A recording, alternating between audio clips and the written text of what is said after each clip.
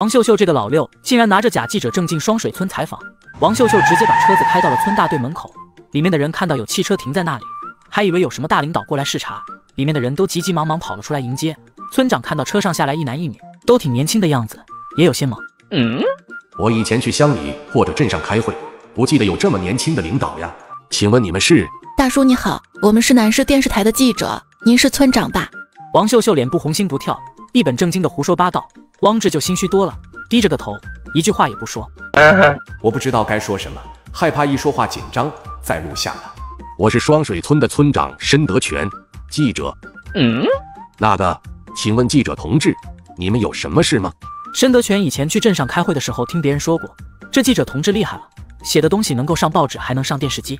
是这样的，申大叔，咱们电视台的领导听说，咱们双水村的舞龙等民俗文化传承的非常好，表演也十分精彩。所以联合了市里的秀秀服装厂，要举办一场民俗文化传承表演争霸赛。我过来就是想要郑重的邀请你们参加比赛，到时候电视台会全程录像，还要在咱们南市电视台播放。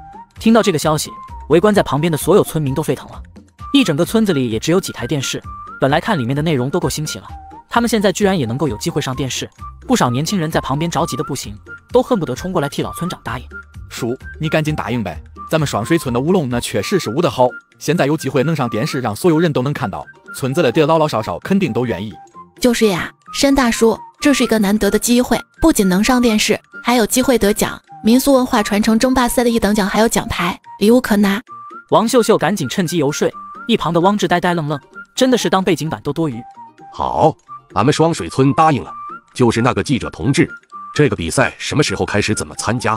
这个比赛是在七天后，也就是农历七月二十八。到时候我们会派人开个大汽车过来，要比赛的人都坐车到比赛的场地。你们到时候记得带好需要表演的装备就行。到了那边中午还管吃饭。这样，老大叔，你把村子里的电话号留给我，我也给你留一个电话号，到时候咱们也好联系。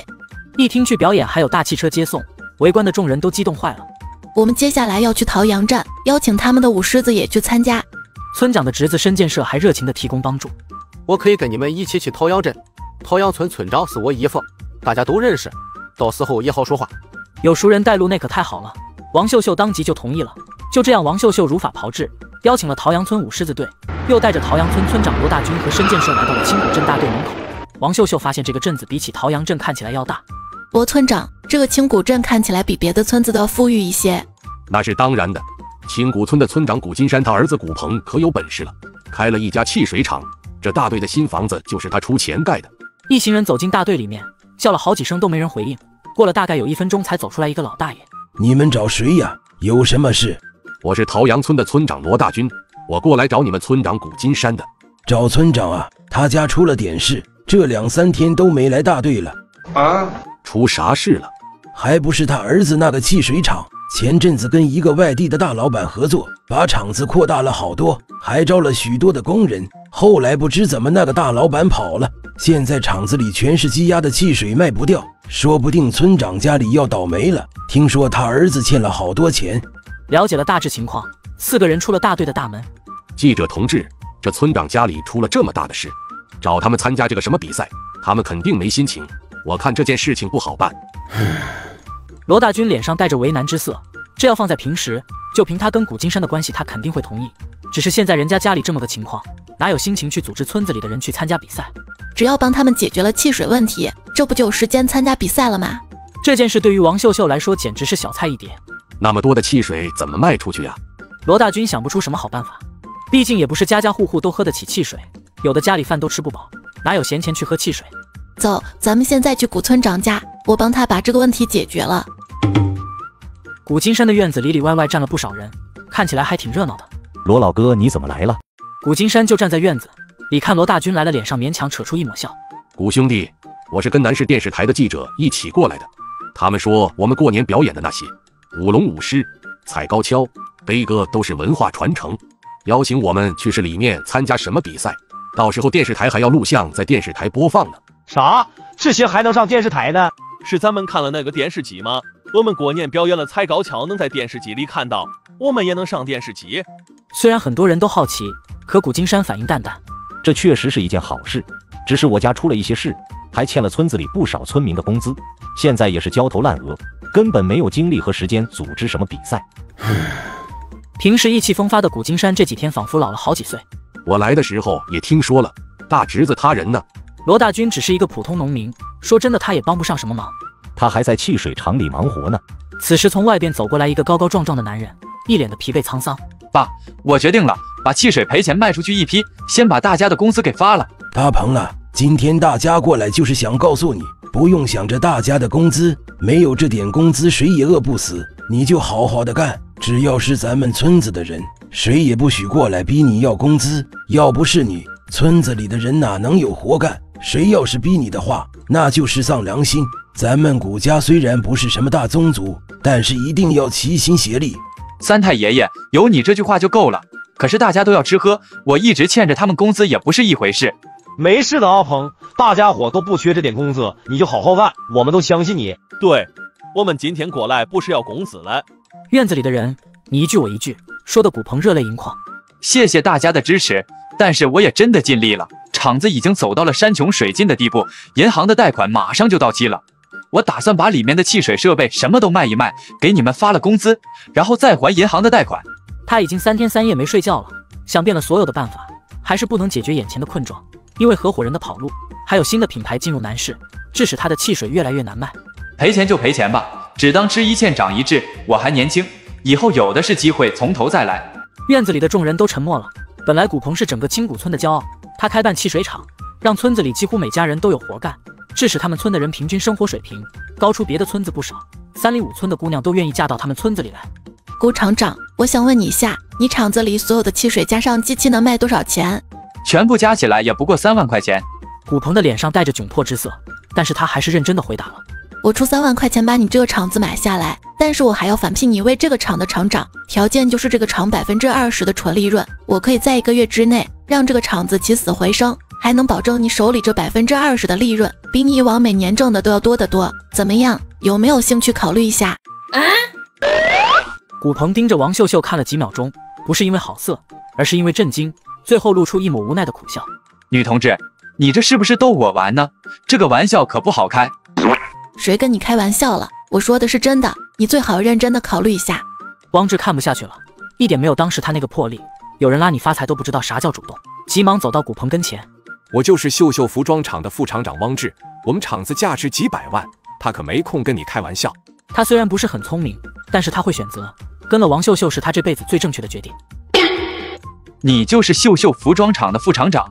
前阵子跟古鹏合伙的李昭还跟他提过，市里面风头最盛的就是秀秀服装厂，背景那是又硬又牛逼，是里面排得上号的厂子都在筹备着给他们捐献缝纫机器，他们跟上面的大领导都有关系，厂子不是国企，比国企还牛逼。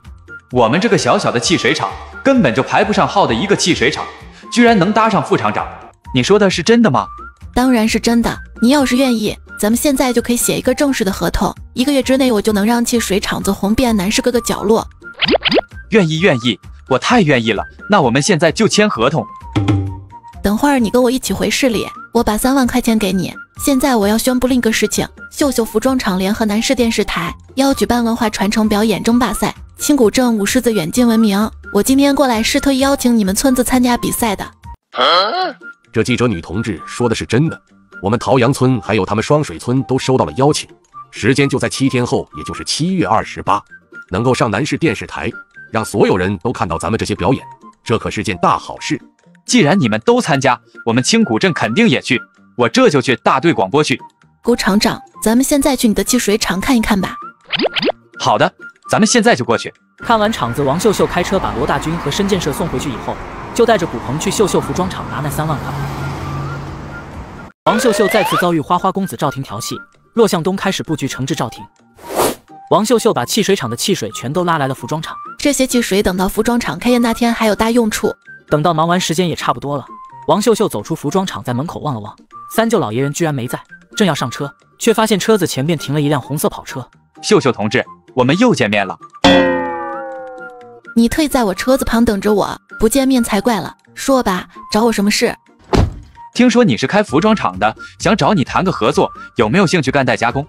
只要你答应，订单根本就不是问题，全部出口国外，保证你的服装厂永远不会缺了订单，你根本就不用发愁这些。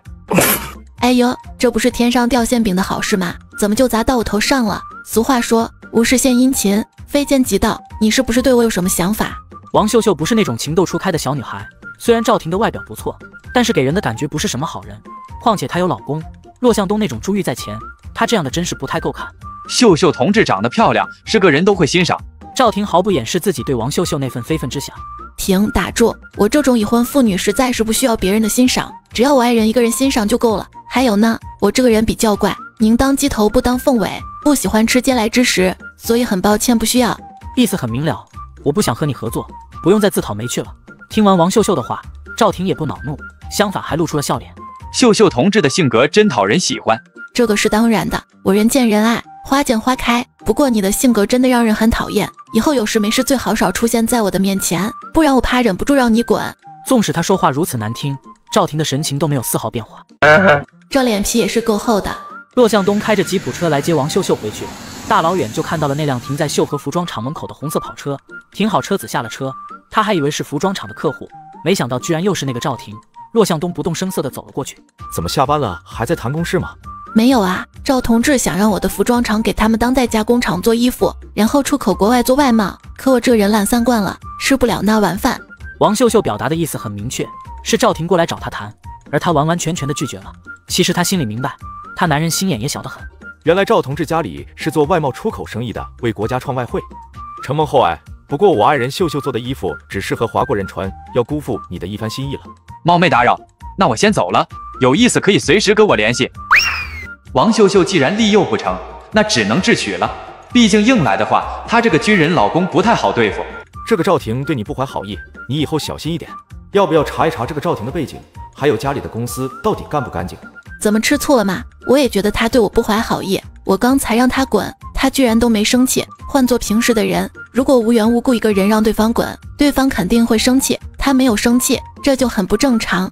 听见王秀秀说这话，更坚定了骆向东要去查赵婷这个人的决心。你的车子放厂里吧，明天我来送你上班。都说新婚燕尔果然不假，骆向东简直无时无刻都不在想着王秀秀。好的，听你的。